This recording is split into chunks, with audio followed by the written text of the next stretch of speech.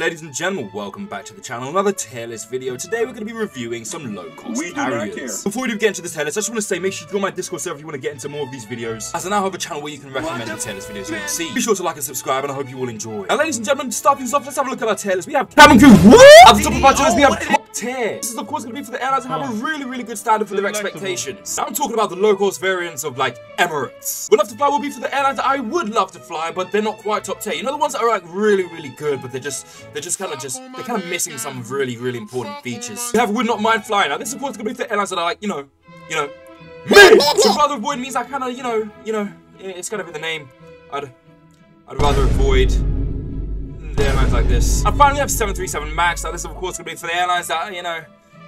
They're not very, very safe. Yeah, ladies and gentlemen, that is going to be our tier list for today. So without further ado, let's get started. Now, first of all, ladies and gentlemen, we have Air Baltic. Air Baltic is an airline based in the land of Santa and his elves. The irrelevant but majestic and fucking freezing country of Latvia. They're the flag carrier based in Riga, but despite being 97% government owned, the amount of times they've almost gone bankrupt is preposterous. Fun fact, they actually own the second largest amount of Airbus A220s behind Delta at 45. I mean, overall, they're a pretty chill airline, and I'm sure the cabin crew fight the cold with heat, if you know what I mean, you know.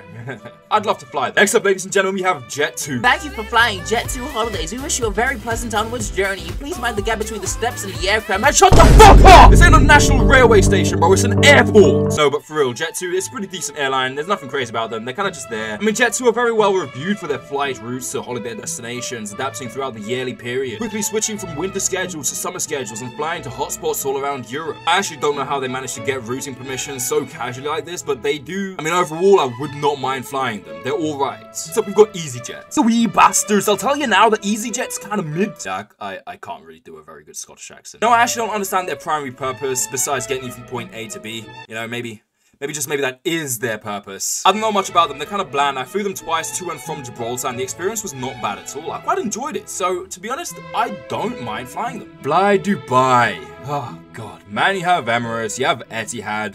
Why didn't you fly Dubai? Well, ladies and gentlemen, let me tell you now. They are literally the sheep of Emirates, specializing in receiving bad reviews and edging Emirates in network planning and schedule. They literally just fly to places that Emirates can't fit their 777s. You know, I personally call that unfortunate. Based on the reviews that I've seen, I would much rather to avoid flying them. Next up, we've got Jetstar. Ah, good old Jetstar. Ladies and gentlemen, Jetstar is an airline based in the land of dangerous snakes, spiders, bugs, Vegemite enjoyers, friendly and welcoming kangaroo boxing opponents, extreme heat, extreme cold, slang overdosing, coffee making, crocodile Dundee, surfs up, brah, upside down, reverse time zone and weather patterns with a slight hint of opposing seasons, aka France. To take myself against your geographically savvy business entrepreneurs aspiring to explore the lands, finding hidden artifacts and dinosaur fossils, telling me Gibraltar is not a peninsula, man, shut up, it is. I'd like to confirm that I'm aware that my description is actually supposed to be pointing my finger, laughing at Australia. Jetstar is an airline headquartered in Melbourne. A subsidiary of the fantastic yet controversial airline Qantas. They have a product rating of 3 out of 5, and frequent travelers have given it an average rating of 6.4 out of 10. That's not too bad. They were amongst the top 20 low-cost airlines in safety for 2023 alongside Scoot and AirAsia. I don't really have anything more to say about them, but you know, I would actually love to fly them.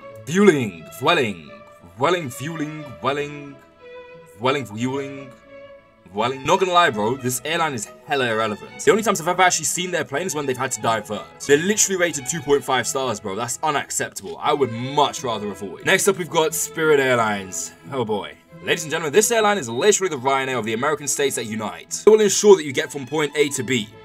Literally. Whether your plane is missing an engine or if there's a literal hurricane taking place. See, now Spirit is a special airline. They're not a low-cost airline. They're an ultra low-cost airline, based in Florida. They're well known for extensive delays, massive fees, and of course, really, really poor legroom. This airline has apparently crashed 12 times with no fatalities. That's kind of crazy, bro. But hey, hey, if you want to sacrifice yourself for your wallet, feel free to fly them, bro. I do not want to be flying them anytime soon, but hey, hey, hey, subscribe because I might be doing a review on them. Uh, next up, ladies and gentlemen, we got good old Scoot. Scoot is the low-cost airline based in Singapore. That is that's that's all I know about them. I, I wouldn't mind flying them to be honest. Next up, we've got AirAsia, another airline that I've literally no information about. All I know is that they're based in Malaysia and have an average rating of 6.6 out of 10. I would not mind flying them. Ladies and gentlemen, Ryanair. Now we're getting to the good shit. Ryanair is the most successful low-cost airline based in the land of the leprechauns, Ireland. I actually reviewed them and rated their services very well. Their quality is amazing for the price that you pay, and to be honest, they keep things nice and simple. They're also amongst the safest airlines with literally zero fatal incidents. Let that sink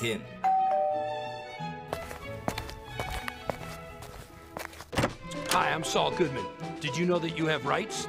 The Constitution says you do. Right, now let me do one last trick on it before I finish blazing the airline. Ryanair, Will you marry me? Deserving of nothing but top tier. Finally, we have Wizz Air. I've only flown Wizz Air twice, and to be honest, I have very, very mixed opinions about them. I can't actually give you a valid answer. And I'm not just saying that because I can't think of something, I genuinely cannot give a valid answer to this. Because if I was to give the opinion of my first flight experience, I would say I'd much rather avoid. But if I give the opinion of my second flight experience, I'd say that I would love to fly them again. For that reason, ladies and gentlemen, it's only right but to say that I would not mind flying them. Now, ladies and gentlemen, that concludes our tier list for today of our low-cost carriers. Please do comment below your opinions on this tier list and what you think should be different. Once again, thank you very much for watching, and I'll see you guys very, very soon for the next video.